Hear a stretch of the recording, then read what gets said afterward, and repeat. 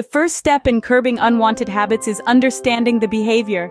Puppies, much like human children, explore their world by testing boundaries. Understanding this can help you guide your pup towards appropriate behavior. One effective method of curbing unwanted habits is to redirect and reward. If your pup is chewing on a shoe, for example, replace it with a chew toy and reward them when they take to it. This teaches them what is acceptable to chew on and what is not.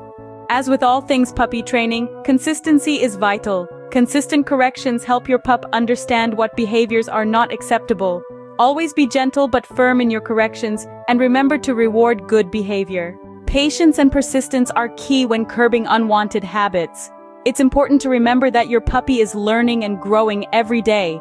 Mistakes will be made, but with time and consistent training, your pup will learn to curb those unwanted habits. As your pup grows and their understanding expands, consider introducing advanced training techniques. These can include clicker training or specialized classes. These methods can help fine-tune your pup's behavior and set them up for a lifetime of good habits.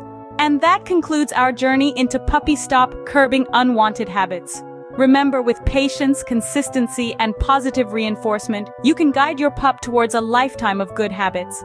If there are other topics you'd like us to explore, feel free to leave a comment below. Until next time, here's to happy, well-behaved pups. Goodbye, furrians.